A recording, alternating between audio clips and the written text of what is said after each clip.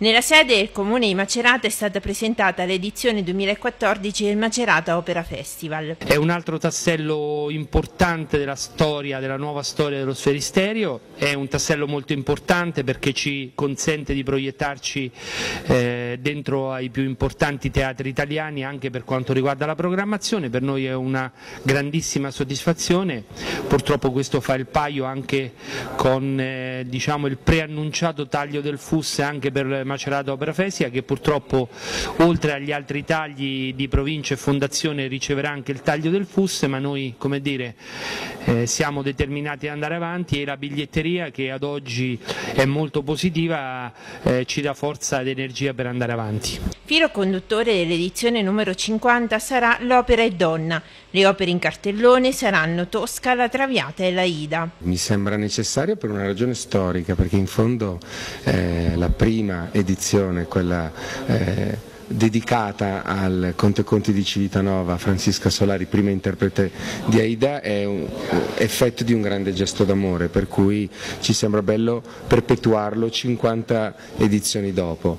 E poi approfittando di questo spunto così storico-romantico, abbastanza suggestivo ma in fondo non così essenziale, mi sembra invece che sia necessario porre l'accento ancora sulla disparità che l'uomo e la donna vivono nel mondo anche occidentale e che nel mondo della cultura e della musica e dell'opera in particolare raggiungono l'apice, per cui essendo il ruolo del direttore un, un ruolo di evidente potere e prestigio, questi due aspetti sono ancora nella nostra società eh, ad appannaggio quasi esclusivo dell'uomo. La presentazione fa parte delle novità introdotte lo scorso anno dal direttore artistico Francesco Micheli e ha lo scopo di informare e far tornare i melomani che assistono all'edizione 2013. Il nuovo corso in che consisteva? In che consiste? Innanzitutto a, a riavvicinare il pubblico allo sferisterio.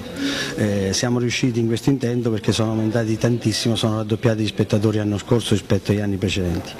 E poi naturalmente quindi aumentando gli incassi, ma anche, fatto altrettanto importante, riducendo fortemente le spese, i costi, ma ancora di più non diminuendo il, eh, di conseguenza, come qualcuno poteva pensare e temeva, eh, le, il valore, eh, la qualità dello spettacolo, ma addirittura aumentandolo, grazie al, al direttore artistico Micheli.